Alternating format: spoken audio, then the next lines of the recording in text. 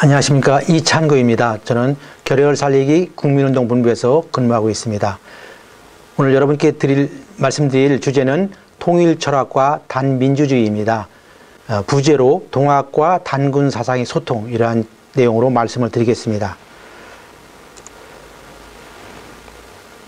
통일 철학의 전통 가치입니다. 이, 지금 여기, 여기에서 다 설명드릴 수는 없지만 그래도 우리가 꼭 필요로 한 앞으로 통일 철학을 논의할 때 필요한 가치를 아, 개요라는 관점에서 말씀을 드리도록 하겠습니다. 어, 우리가 전통 가치, 전통 사상을 얘기할 때 요즘 자주 논의되고 있는 경전이 바로 천부경입니다.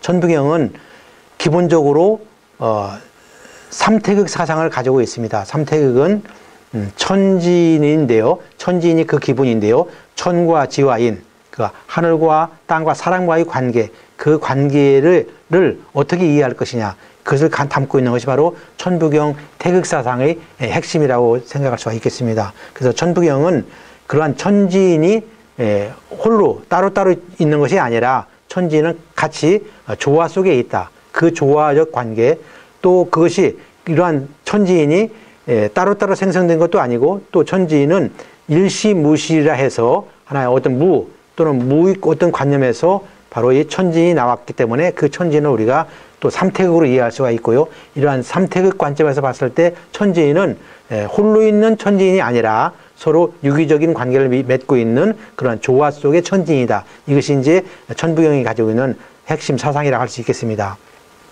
또 하나는 수미균평이라는 말입니다. 이것은 신지비사에 나오는 말인데요. 수미균평이라는 말은 이 규절은 어, 대한민국 임시정부의 건국 강령에도 들어있는 말입니다. 아, 결국 수미, 그러니까 머리와 꼬리, 예, 또는 뭐 국민과 또 정부, 나라 이런 관계를 봤을 때 그 관계가 둘의 관계가 수미의 관계가 균평을 이룰 때 그 위가 균평할 때에 에, 나라가 태평할 수 있다 이런 관념에서 나오는 것인데요. 아무튼 수미 균평의 사상도 우리가 어떤 어, 통일 철학을 얘기할 때 중요한 에, 가치라 이렇게 생각할 수 있겠습니다. 더불어서 단군 사상에서 중요한 것은 역시 홍익인간 사상입니다. 이 홍익인간은 제세이화라는 말과 함께 같이 따라다니는 말입니다. 그 홍익인간은 우리가 일상적으로 뭐 널리 인간 이렇게 한다로 풀이를 하지만 아, 예, 그것은 좀, 좀 너무 이제 그런 말들이 사실 이제 지금에 와서 보면 좀 고루한 느낌이 있어요. 그래서 크게 인간을 이렇게 한다. 크게 인간 세상을 이렇게 한다. 크다는 커지는 확대되는 확장되는 개념으로 이렇게 설명하기도 하고요. 또 이 홍익 인간은 이 말 자체에 이미 어, 천지인이 포함되어 있다. 이렇게 또 해석을 합니다. 그래서 이 홍익 인간, 어, 제세이와 이런 개념들은 결코 우리 한국의 고유 사상에서는 천지를 분리해 놓고 인간을 얘기하지 않거든요. 늘그 그 안에 천지라는 말이 없어도 인간 존재를 말할 때는 항상 천지가 따라다니는 그래서 천지인 합일 사상, 천지인 조화 사상 그 틀에서 홍익 인간 사상도 이해해야 된다 이렇게 생각합니다. 물론 뭐 정치적인 개념으로 어 국민을 나라 백성을 이롭게 한다. 크게 이롭게 한다. 또 이로움을 준다. 이것이 물론 어떤 복지 개념도 있고 뭐 어떤 정치 사회학적 개념도 있지만 기본적으로는 뭐 음, 기본적으로는 인간의 존재가 그러한 홍익 인간적인 존재해야 된다. 이런 의미로 우리가 해석할 수 있겠습니다. 아울러서 이제 동학익입니다. 우리가 통일 철학을 말할 때 빼놓을 수 없는 것이 바로 단군 사상이 있고 우리 고유 사상이 있다면 그 다음에 동학 사상이라고 할 수 있겠습니다. 그 가운데서 가장 중요한 것은 만민 평등과 사인 여천 또 어, 주민자치사당 이런 것들이 바로 앞으로 우리가 통일 철학을 말할 때 빼놓을 수 없는 그런 가치라고 어, 말씀드릴 수 있겠습니다. 그럼 먼저 단군 사상부터 이해를 해보겠습니다.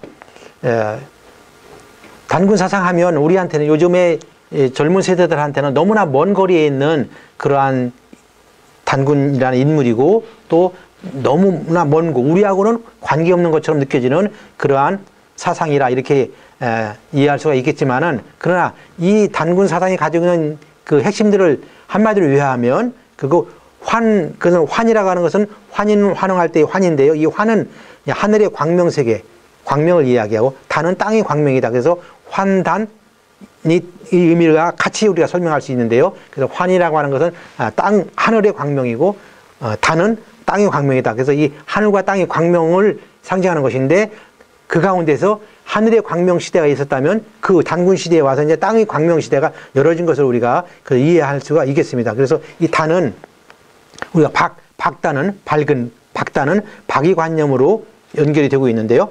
또 그래서 단은 단군이라는 단군 안검이 단, 단으로도 쓰이고 단국이라는 나라 이름으로서의 단어도 쓰입니다. 그래서 단 하면은 단군도 의미하고 단국, 나라라는 의미로서의 단국을 의미하죠. 우리가 물론 역사적으로는 조선, 고조선이라는 말을 쓰지만 그 이전에 이미 단국이라는 단의 나라라는 예, 국명이 있었다는 학설도 있습니다. 오히려 그런 면이 더 어, 설득력이 있을 것 같습니다.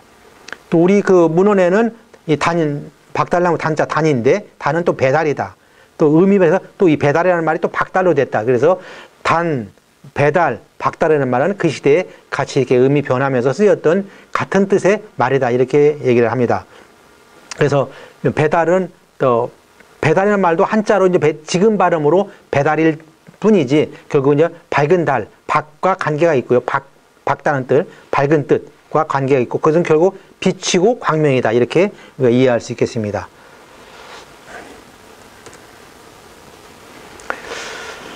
그 다음에 홍익인간 제세이화입니다. 홍익인간과 제세이화를 다시 한 번 더 우리가 언급하면 홍익인간 제세이화는 아, 유목문화에서 농경문화로 오면서의 정착된 이념이다. 우리가 지금 이렇게 이해할 수가 있겠습니다. 그 홍익인간 제세이화는 바로 농경문화를 의 어떤 그 사상문화를 반영한 것이고요. 특히 이제 홍익인간은 태양 숭배 문화의 영향으로부터 나왔다. 이렇게 설명합니다. 또 제세화는 바로 농경 문화로부터 나온 것이다. 이렇게 예, 이해할 수가 있겠습니다. 그래서 제세화라는 말은 예를 뭐 어, 곡식 또는 뭐 질병 뭐 이런 또 여러 가지 뭐 교육 뭐 형벌 이런 것이 여러 가지를 다스리는 것과 관계가 있기 때문에 그것은 정착된 농경 문화라는 관점에서 어, 홍익인간 제세이화라는 말을 이해할 수가 있겠습니다. 그 뒤에 이제 이 제세이화라는 말은 그러니까 세상에 있어서 세상에 있으면서 다스린다는 게 뭘로 다스리냐? 그 홍익인간을 기본 이념으로 해서 세상을 다스리는데 그때 세상을 다스릴 때 제가 생각할 때 이 농경문화에서 가장 중요했던 것은 역법이지 않았을까 달력. 근데 그 삼국유사에 보면은 범주인간 360여사라고 그랬습니다. 그래서 우리는 지금 달력을 뭐 366일 또는 365일 이런 달력들을 쓰고 있지만 과거에는 아마 366일 달력이었을 것이다. 이렇게 설명도 합니다. 그래서 근데 삼국유사에는 뭐 366일이다. 또 365일이다. 이렇게 하지 않고 그냥 범주 인간 360여사. 그래서 360여일로 이렇게 예, 표시한 것이 아닌가 생각되고요. 아무튼 이 농경문화에서 제세이화에서 가장 중요한 것은 바로 어, 달력, 책력이죠. 책력이 있어야 낭, 농사를 지을 수가 있잖아요. 그래서 언제 어떻게 씨 뿌려라, 또 어떻게 거둬들이라는 것이 예, 가장 중요하기 때문에 농경문화에서는 가장 중요하죠. 그 다음에 이제 농경문화에서 중요한 것은 도량입니다. 무게를 달고 크기를 재고, 예? 뭐 부피를 달고 이런 것이 도량형이 있어야 어, 제세화가 되죠. 세상을 어떻게 다스립니까? 기본적으로 달력이 있어야 날짜와 시간을 다스릴 수가 있고요. 또 어, 도량형이 표준이 되어 있어야 어, 이, 이것은 예를 들어서 물물 교환할 때, 어, 내 것이 적다, 내 것이 많다. 이 물물 교환이 성립하려면 그런 도량이 있어야 되는 것이거든요. 그래서 농경문화에서 가장 중요한 것이 바로 그런 것인데, 아무튼 삼국유사는 뭐 홍익인간 제세이화라는 말로 대표해서 쓴 것 같습니다. 그래서 제세이화의 구체적인 내용은 바로 그런 것을 포함한 것인데, 후대에 와서는 이제 제세이화라는 말이 이제 광명이세로, 광명으로 세상을 다스린다는 광명이세라는 말을 이제 구체적으로 이제 쓰이게 된 겁니다. 그래서 이것은 제세이화가 광명이세로 바뀐 것은 어, 공간 정착에서 이제 공간 예, 인간 삶의 영역이 확장되는 개념으로 볼 수가 있겠고요. 광명이라는 개념 속에서는 제세이화라는 개념보다도 평등, 포용, 생육 이런 관념이 더 예, 발전된 개념이다 이렇게 우리가 이해를 할 수 있겠습니다. 그래서 이제 신라 시대에 들어와서는 이제 광명이세라는 말을 쓰게 됐고요. 그 이전에는 이제 홍익이간 제세라는 말을 썼기 때문에 그런 차원에서 후대에 내려와서 썼던 광명이세는 바로 어떤 보다 더 진전된 사회 구조가 좀 점점 발전하고 변화됐겠죠. 그래서 이제 평등의 관념이 더욱더 어, 필요한 것이고 또 반면에 어, 서로 다진 다른 세력들에 대한 이질 세력들에 대한 포용 이런 것들이 더 어, 요구됐을 것이라고 생, 예, 각할 수가 있겠습니다. 어, 다시 이제 앞에서 말씀드린 단과 박 이제 이것이 이제 앞으로의 어떤 우리가 통일을 염두에 했을 때 단과 단 사상이 가지고 있는 가장 핵심적인 이 박 사상 박, 박이라고 하는 빛 또는 광명이라는 사상이 가진 의미를 우리가 이제 되새겨 볼 필요가 있는데요. 특히 이제 이 말의 근원은 예, 알고 있는 대로 국유 현묘지도할 풍류라는 말이 있습니다. 예, 그래서 우리 최치원 고운의 한 말인데 이 말이 그 근원을 추적하면 결국 그 당시의 용어로는 풍류다. 그런데 이 풍류라는 말에 그 근원을 다시 소급하면 나라의 현묘한 도가 있었다. 현묘. 그 현묘한 도라는 것이 그럼 내용이 뭐냐?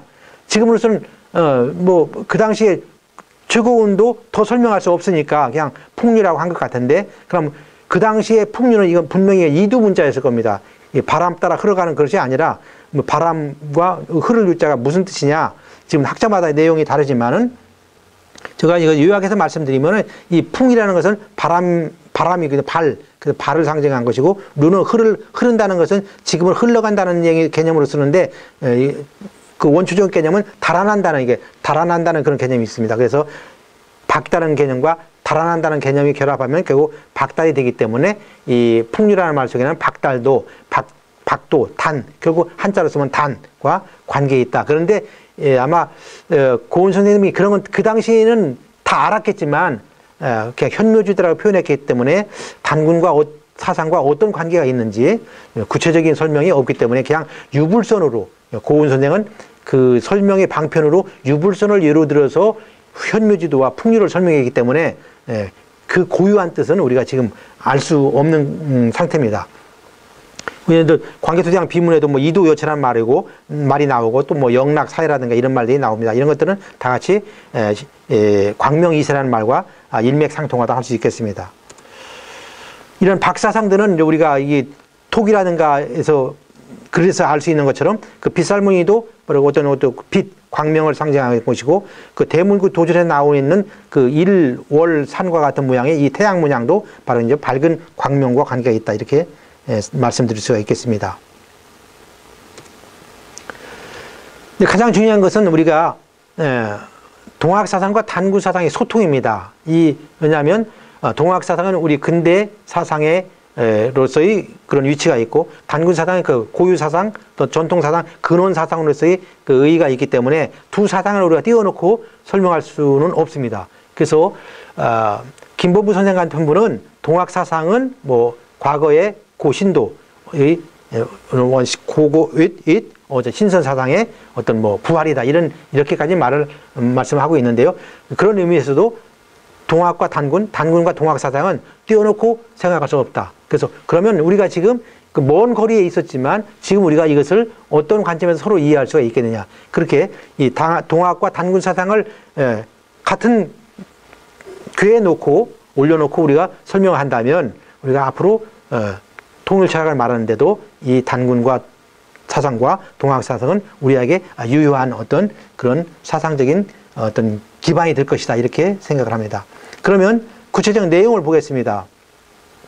동학의 사회 이념은 우선 시천주 이념으로부터 나와 있는 것이 결국 인간 존엄 사상이고 또 만민 평등 사상입니다. 물론, 물론 이 가운데는 인내천 사상도 어, 들어가 있습니다. 그래서 인간 존엄 사상과 만민 평등의 기본적인 사상적 근원은 바로 이제 시천주 이념으로부터 나온 것이고요. 이것을 견주어서 우리가 설명할 수 있는 것이 어, 바로 단군 사상에서는 홍익인간 제사의 이유입니다. 앞에서 말씀드렸지만 결국 홍익인간도 인간을 어떤 어, 논의의 중심에 놓고 어, 얘기를 한 것이거든요. 그래서 예, 홍익인간이 그러니까 인간을 결국 인간이 천지인의 관점에서 인간을 말하거나 어, 정치를 어떻게 할 것이냐 어, 세상을 어떻게 다스릴 거냐라는 관점에서 인간을 말하는 것이나 그 내용은 같다고 볼 수가 있기 때문에 결국 홍익인간 제세와의 그 중심 개념도 결국 인간이다. 인간 존엄의 문제다. 예, 그래서 동학이 가지고 있는 시천주의 인간 존엄 사상이나 결국 단군 사상이 가지고 있는 홍익인간 제세의 인간 사상은 결국 일맥상통하다 이렇게 설명할 수가 있겠습니다. 그 다음 사회 이념입니다. 사회 이념으로서는 단군 사상이 가지고 있는 수미 균평이 흥방부 태평 즉 수미를 그 위를 균평하게 함으로써 어, 나라를 흥성해야 하고 태평을 보존한다. 이것이 이제 우리 단군 사상을 기록하고 있는 음, 신지비사에 있는 핵심 사상입니다. 그래서 수미균평이 흥방보 태평은 예, 앞에서 말씀드린 대로 어, 임시정부의 건국 강령에까지 들어갈 정도로 아주 중요한 개념으로 아, 그 임시정부의 그 당시에 사람들도 이 문제를 에, 어떤 그 새 나라를 세운 데 있어서 수미균평이 흥방부 태평은 중요한 에, 개념으로 파악을 한 것이 틀림없는 것 같습니다.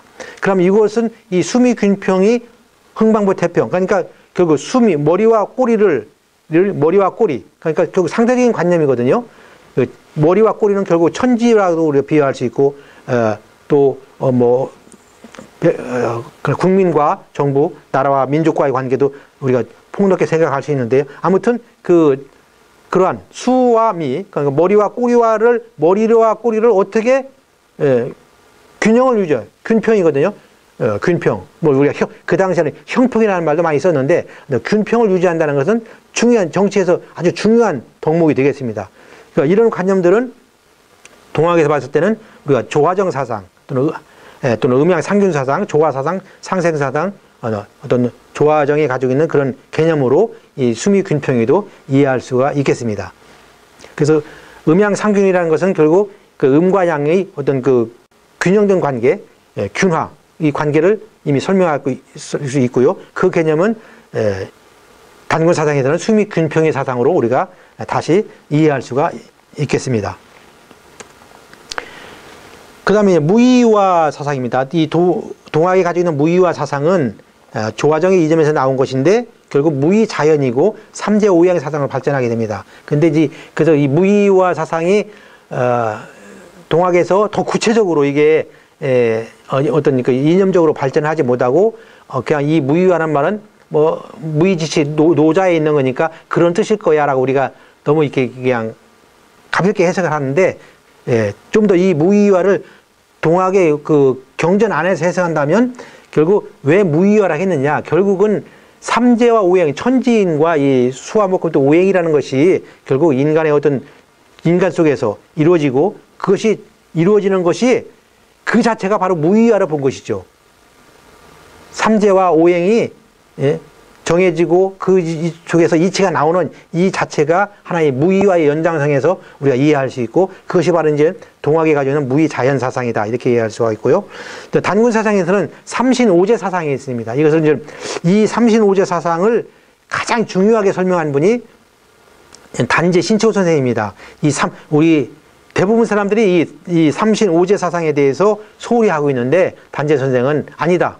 이 단군 사상이 가지고 있는 삼신 오제 사상이야말로 우주의 조직, 우주 정신이 인간 사회에서 이 구현되는 인간화 작업이다. 이렇게 이제까지 설명하고 있거든요. 근데 이러한 삼신 오제 사상이 아주 중요한데 이것이 후대에 내려오면서 어, 이 삼신 오제 사상이 하나의 어떤 어떤 신앙적인 어떤 것으로 이렇게 에, 변화되면서 이 정치하고는 거리가 먼 것처럼 이렇게 되었는데 단재 선생의 말씀에 의하면 이것이 바로 가장 중요한 우주 정신을 인간 인간 세계에 구현하는 인간화로서의 삼신오제로 삼신오제 사상으로 우리가 이해를 해야 된다. 그렇다면 이 삼신오제 사상은 에, 앞에서 말씀드린 무의이화로서의 삼 동학에서 말하는 삼재 오행과 서로 연결이 되거든요. 예, 이것이 그래서 중요한 이 단군 사상과 동학 사상이 소통할 수 있는 아주 중요한 연결고리라고 우리가 설명할 수가 있겠습니다.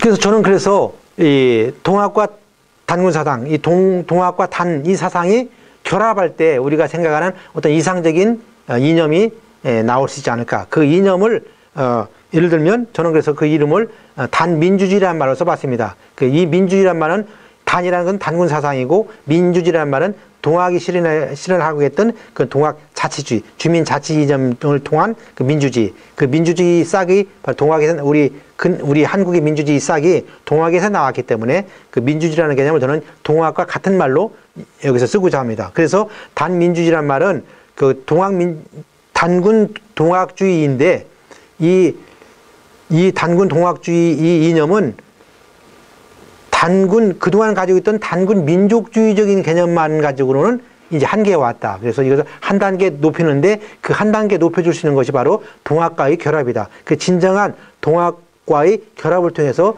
단군 사상이 한 단계 예?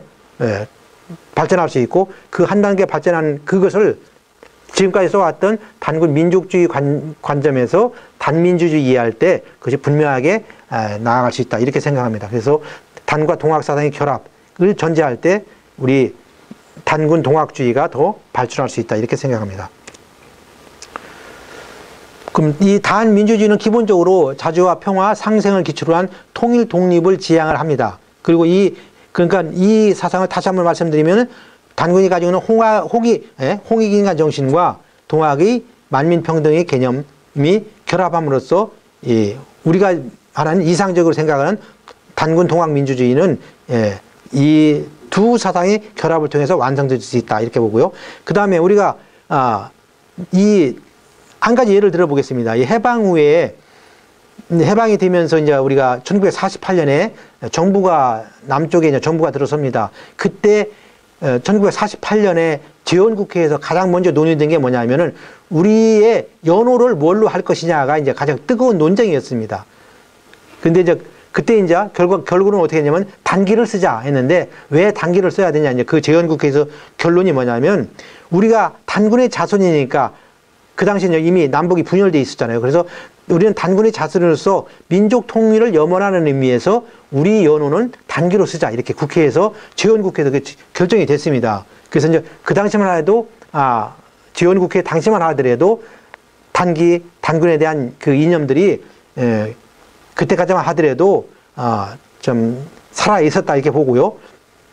그래서 이, 이 우리 그 당시에 가지고 있던 단기 연호라는 개념도 우리가 지금은 우리가 에, 이제 1962년에 들어와서 단기가 폐지되고 이제 서기가 쓰면서 서기가 사용되면서 이 단군, 단기, 단군 문화 이것들이 이러한 문화, 재반 이러한 역사 문화들이 예, 이제 점점 예, 이렇게 뭐 세잔한다고 할까 이런 상태에 놓여 있는데 아무튼 그런 의미에서도 우리가 통일을 염두에 둔다고 할 때라도 그런 것을 염두에 둘때 예, 단기 연호의 부활도 그런 의미에서는 어, 중요한 것이 아닌가 이렇게 생각을 합니다.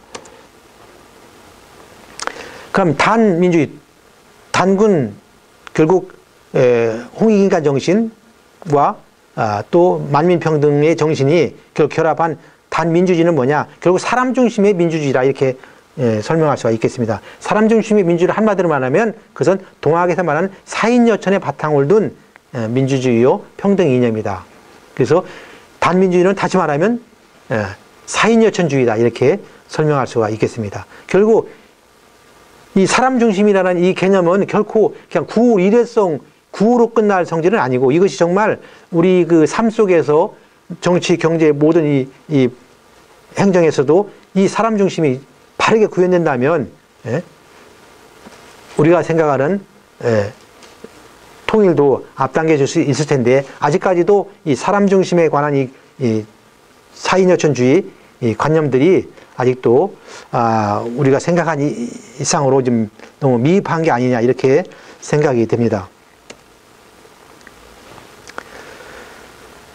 그러면 이 단민주주의 관점에서 즉 단군 동학주의 관점에서의 통일관은 우리가 어떻게 말할 수 있겠느냐 결국 이 통일관도 결국은 예, 사인여천주의 통일관입니다. 결국 왜 그러냐면은 결국 이 모든 문제는 결국 인간의 문제고 인간을 어떻게 바라볼 것이냐 이 문제이기 때문에 예, 예를 들어서 남이든 북이든 북이든 남이든 결국 인간을 바라보는 관점이 차이가 나고 인간을 어떻게 볼 것이냐의 관점에서 차이가 나고 그로 인해서 모든 예? 예, 사상 이념들이 분파되고 있기 때문에 가장 중요한 것은 인간을 바라보는 눈이다. 인간을 어떻게 생각하느냐, 어, 인간을 어떻게 바라보고 있느냐. 여기서 여기에서부터 예, 통일론이 나올 수 있다 이렇게 생각을 합니다. 결국 사인여천의 사인여천주의는 사람을 한 사람 한 사람이 왜 소중하게 사람을 하늘처럼 대하고 사람처럼 하, 사람을 하늘처럼 섬기느냐 그 인간 한 사람 한 사람을 사람 사람 한 사람 한 사람을 창조적 주체로 인, 인정하기 때문에 그런 것입니다. 그 창조적 주체로 그 주체 주체성도 중요한데 그 주체성의 인간은 결국 창조적 주체라는 얘기는 한 사람 한 사람이 가지고 있는 창조성이거든요. 사람이 가지고 있는 창조성을 인정해 주는 것, 그것이 그 어떤 의미에서는 가장 소중한 주체성의 인정이다. 이렇게 우리가 얘기할 수 있겠습니다. 결국 사인 여천주의의 바탕을 둔 이 통일과는 예, 기본적으로 홍익 인간 정신에 기초한 통일 국가를 이상으로 한다. 이렇게 예, 설명할 수가 있겠습니다. 근데 우리가 통일을 말할 때 물론 우리가 이론적으로 이렇게 통일을 여러 가지 형태로 여러 가지 말로 표현할 수 있습니다. 그러나 그것을 실천하는 결국 문제는 인간의 문제고 인간을 어떻게 바라보고 인간을 어떻게 설명하느냐라는 것이 중요하기 때문에 그에 앞서서 우리가 그런 인간 간의 창조적 주체성의 확보와 함께 우리가 통일을 염두에 두고 지금 생각할 과제를 제시해 본다면 남북의 경제적 빈부, 빈부 격차의 극복 문제 또는 교육 문화적 의식의 격차 문제, 역사관의 격차 문제 이런 것들이 사실 너무나 엄존해 있습니다. 그래서 이런 문제들을 더불어서 어떻게 극복해 나갈 것이냐가 중요한 과제라 할 수 있겠습니다. 특히 예, 점점 이 분단의 역사가 길어질수록 길어질수록 의식의 격차는 점점 더 어, 벌어질 수밖에 없습니다. 아, 또 아울러서 역사관의 격차, 역사관의 시각차는 점점 더 멀어질 수밖에 없습니다. 특히 남쪽의 경우는 이 역사관에 지금 중대한 문제가 있죠. 예를 들면은 뭐, 어, 아직도 우리 남쪽의 경우는 뭐 식민사관을 극복하지 못하고 일제 조선 총독부가 물려준 식민사관 그대로를 수용해서 교과서가 그대로 만들어지는 그래서 잘못된 역사가 지금 역사를 가르치고 있는 것이 지금 반복되고 있거든요. 그래서 75년, 80년이 다 돼가지만 우리가 지금 바른 역사관을 갖지 못하고 있다. 이것이 앞으로 남북 에 있어서 통일을 논의하는 과정에 있어서 이것도 이것도 지금 역사관의 격차도 큰 문제라 아니할 수 없겠습니다. 마지막으로 통일은 왜? 라는 문제를 다시 한번 우리가 생각을 해보겠습니다. 왜 통일이 필요한가? 그럼 통일 한국은 다음에 무엇으로 세계에 기여할 것인가?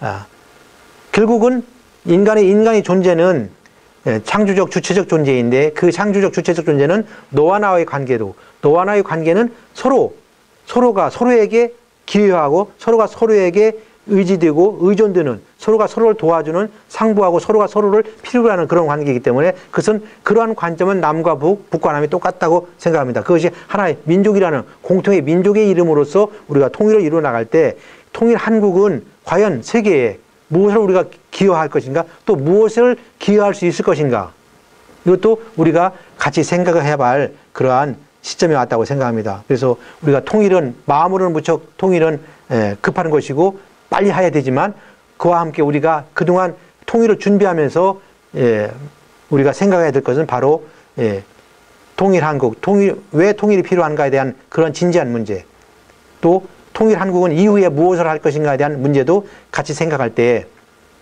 우리한테 지금 가장 중요한 것은 바로 어, 우리 고유 사상으로서의 단군 사상, 또 우리 근대 어, 민주주의의 씨앗이 되은 동학 사상이 같이 결합함으로써 우리가 가지고 있는 이런 우리 생각의 지평들을 더 넓게 또 더 높이 이렇게 확장해 나갈 수 있지 않을까 그렇게 생각합니다.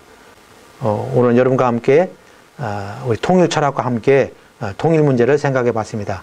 감사합니다.